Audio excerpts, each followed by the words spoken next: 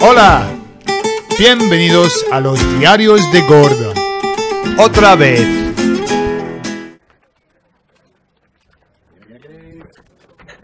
Hola, Hola, ¿qué tal? estamos aquí con Giovanna. Sí, hola. Y Giovanna es la mujer de Carlos. Vale. Muchas gracias, eh, Giovanna, por hacer la entrevista con eh, nosotros. Giovanna, tú no eres de España, ¿verdad? No, yo soy peruana, Ah, sí. de Perú, sí. ¿Y cuántos años llevas aquí en España? Eh, llevo 30 años, Mucho tiempo, ¿no? mucho tiempo, sí. Ajá. ¿Y Ya te, va a ser 30, sí. te ves ahora más española que peruana? Sí, llevo más tiempo aquí en, en España que en mi país, pero Ajá. Yo todavía guardo ahí, tengo mis raíces, entonces eso Claro. se lleva y yo creo que no las voy a perder nunca, pero ahí está. Sí, sí. Mm. ¿Y crees que has perdido eh, mucho acento?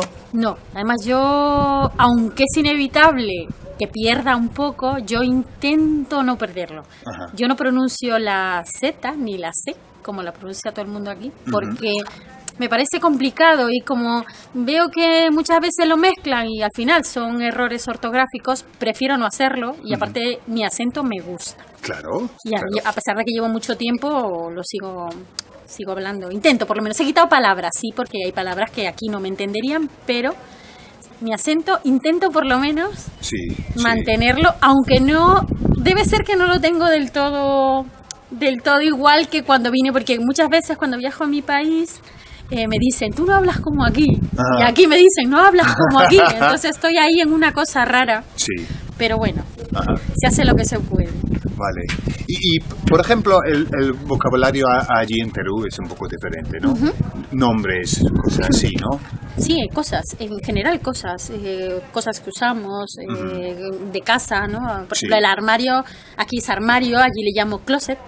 Eh, Ah, usamos ¿sí? muchos, Ajá. sí, es- eh, utilizamos muchas palabras americanas, pantalón corto, eh, short, Sí. siempre se usa short, o, o blue jeans o black jeans, depende del, de los vaqueros que se dice aquí, ajá, ¿no? ajá. Yo allí se, utiliza jeans siempre Qué es interesante. closet. Y luego utilizamos también en mi país muchas palabras que tienen su origen en la lengua quechua.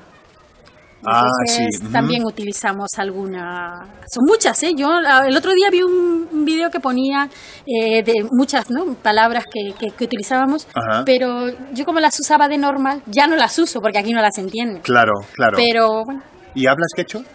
¿Tú? cuando era pequeña, Sí. Sí, porque mi padre trabajaba en una zona que hablaban quechua y yo... Se ve que hablaba cuando era pequeña, pero no me acuerdo. Vale. Algunas palabritas sí, Sí, sí, conozco. pero- ¿Y qué pasa con el verbo coger ahí en Perú? ¿Se usa o no? Sí, pero creo que en mi país no está mal dicho. O sea, no significa mal. Es en Argentina, creo. Ah, Pero y en país México no. también, Sí, sí. en mi país no. En mi No. país Ah, vale, No, sí. puedes decir coger. Agarrar, decimos nosotros. No decimos Agarrar. coger, agarrar. Agarrar. Sí. Agarrar. Sí. ¿Y la vida la, la, la ves muy diferente aquí en España?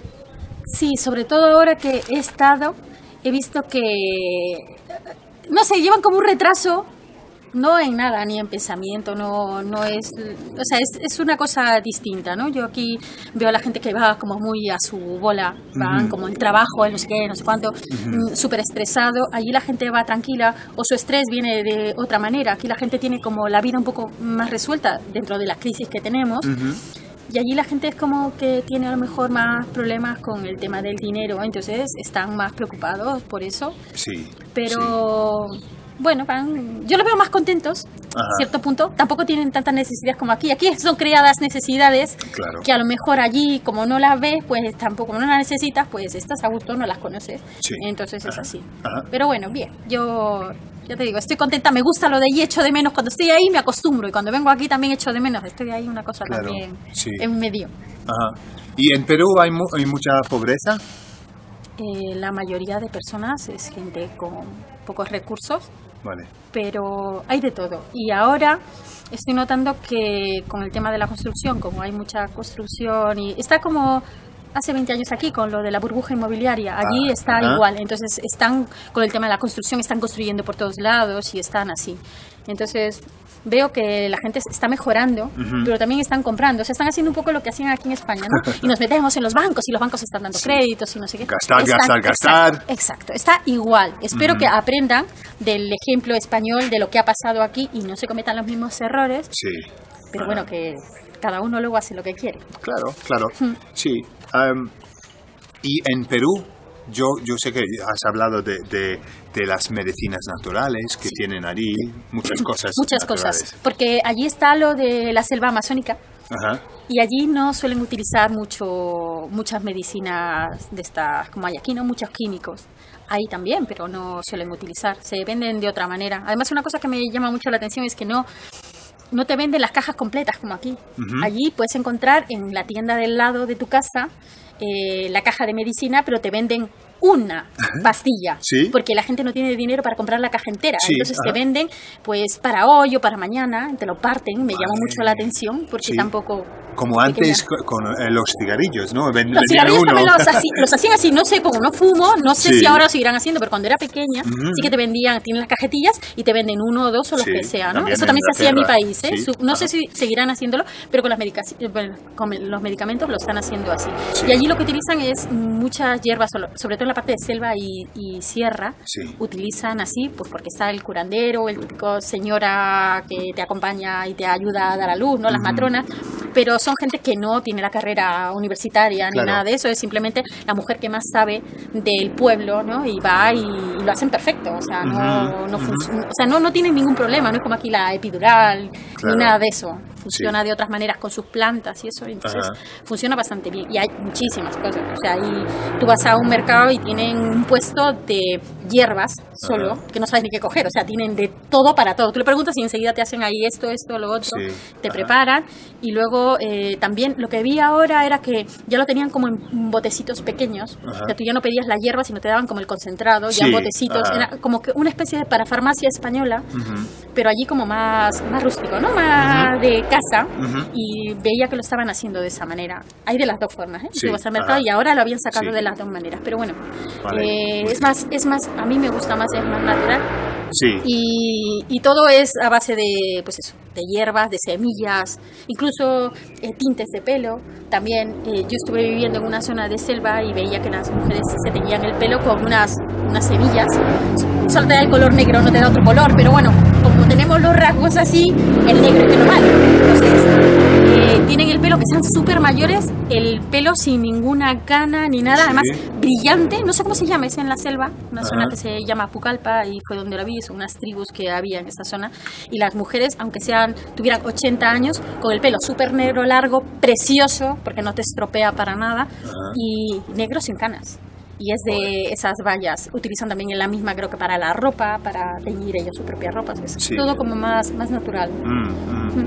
¿Y tienes la, la oportunidad de volver a, a Perú? Sí, sí, el próximo año. Sí, voy más o menos, no muy a menudo, pero sí, el próximo año volveré otra vez y voy para cogerme estas cosas. Sí, ajá. Sí, porque tengo problemas de riñón, entonces allá ahí te dan ahí unos preparados de limpieza. Básicamente son limpieza. O sea, no- mm, si tú haces la prevención, Ajá. luego ya no tienes la enfermedad, entonces eh, Claro. para limpieza de hígado, limpieza eso es lo que es importante, limpieza de riñón, entonces bueno, pues Claro, muy bien, muy bien. eso. Muy bien, muy bien. Y bueno, eh, ¿qué más? Un- danos unas palabras de, de quechua, si, si, si te Eh, vienen a, a la, men- a la mente, para terminar. Vale, eh, Ari, que es sí, Ari. Ari, Ah, ajá, es sí, ajá. y... Eh, uy, pues ahora no me acuerdo mucho. Vale, No, ahora sí. no me acuerdo. Y, y em, dices que, que allí hay, usáis muchas palabras eh, americanas, básicamente, ¿no? Hmm. Sí, utilizamos muchos, México. utilizamos muchas palabras americanas. Sí. La verdad es que sí. Sí, sí. Y por ejemplo, yo, yo recuerdo que en, en México, si, si, si querías decir, puedes llevarme al, al pueblo en el coche, solamente eh, tenías que decir, me puedes dar un ride.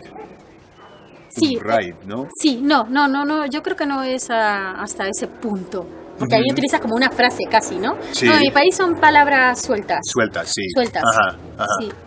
¿Y por qué hay tanta influencia de, de los Estados Unidos? Mm, porque al final somos América, aunque nos cataloguen América del Sur y América del Norte, allí, o sea, yo la, eh, esa forma de catalogarnos la he aprendido aquí, porque cuando estaba en Perú nunca dije que soy de América del Sur, siempre decía soy americana. Americana. Somos americanos todos. Ajá. Es como aquí, yo creo que nadie dice España, soy de América del Oriente o del Occidente o del Norte o del Sur, soy europeo, y ya está.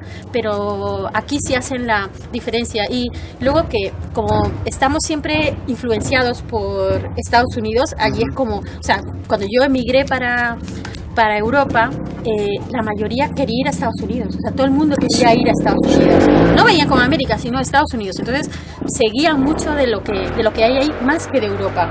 Europa es como más serio, más viejo, más, no sé, no llamaba tanto la atención. Yo creo que ahora sí que está llamando un poco más la atención, porque hay más noticias también y eso. Ajá. Pero allí es como todo el mundo, Estados Unidos. Todo el mundo es que quiere ir Claro, allí. sí. Y luego que al viajar, como la gente migra, luego vuelven, muchos vuelven, o las familias visitan, o lo que sea, claro, vienes con palabras Traen de allí. palabras, sí. Exacto. Sí. Mm. Y entonces yo creo que es por eso que utilizamos también palabras Sí, de allí. sí.